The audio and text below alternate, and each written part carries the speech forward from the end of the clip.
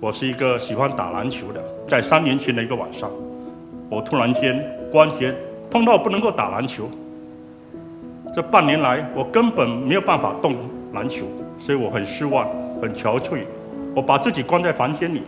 有一个朋友介绍我吃利骨精，我想，与其这样，倒不试试看吧。因为如果不吃的话，我就要动手术把关节割掉。所以每天早上我都喝一杯 Milo 配利骨精，终于可以跟我的篮球朋友一起打篮球了。I refuse to let stiff joints affect my active lifestyle.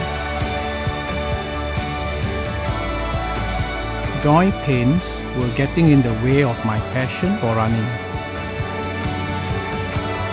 In this confinement, I cannot play basketball with my friends.